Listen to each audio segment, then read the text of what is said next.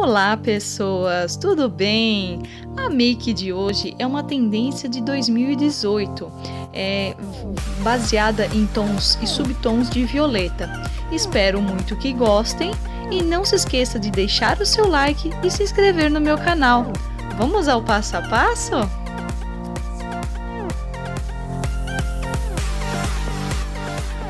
Sobrancelhas e olhos corrigidos. Os produtos vão estar tá lá na descrição do vídeo, tá, gente? Se vocês precisarem. Agora eu vou usar a paleta da Belly Angel. Com o pincel de esfumar, eu aplico no canto interno e esfumo em todo o meu côncavo. Daí eu vou subindo na parte inferior até próximo ali à sobrancelha. E vou esfumando bem.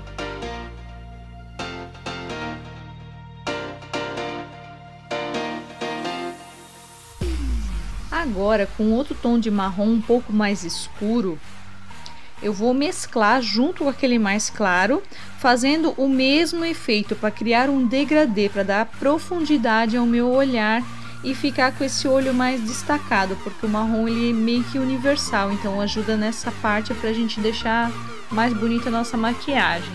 Principalmente para mim que tem o olho mais é, ele é grande, só que ele tem aquela pelezinha, sabe? Ele é meio caidinho, é onde que não destaca tanto o olhar. Com um pincel e um corretivo claro, eu demarco o meu olho. Aí eu vou fazendo um semi-cut crease e eu vou finalizar depois dando batidinhas com o dedo para ele mesclar entre aquele tom, aquele fundo marrom que a gente fez e essa, essa sombra cremosa para a gente dar o efeito do roxo ali por cima, para ele aderir bem.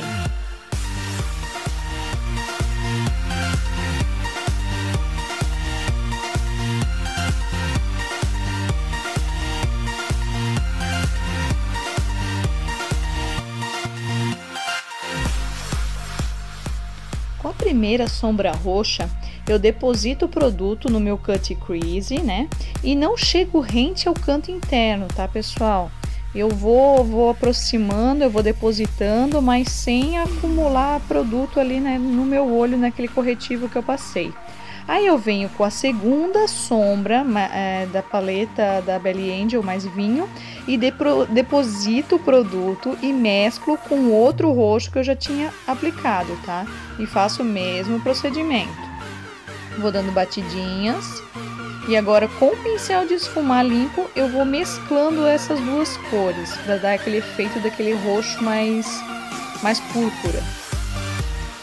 Esfuma bem. Agora, com um pouco de sombra preta, eu vou aplicando no canto é, externo do olho, em diagonal, e vou esfumando novamente para escurecer mais aquele canto. E com um pincel limpo, novamente eu vou esfumando até tirar aquela marcação que ficou do preto com as outras sombras. E com o iluminador, eu vou aplicar ele no canto interno do meu olho, para dar aquela abertura no olhar e abaixo ali do arco da minha sobrancelha. Eu vou aplicar em toda aquela extensão onde eu tinha aplicado marrom para esfumar e dar aquele efeito mais brilhoso, lustroso na minha maquiagem.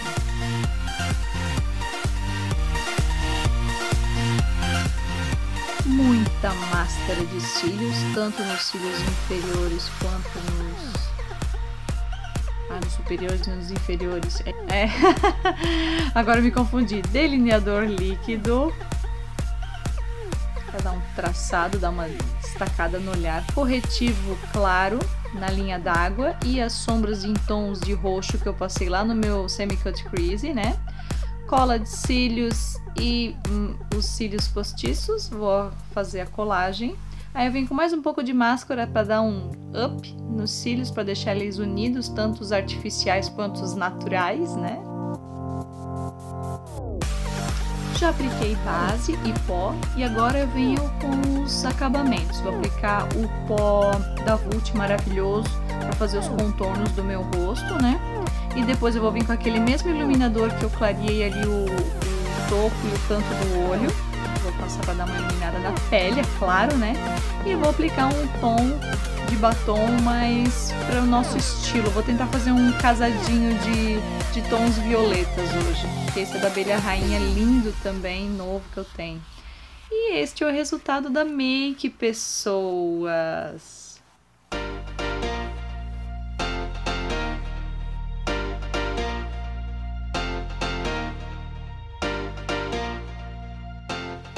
Um super beijo e até mais. Tchau!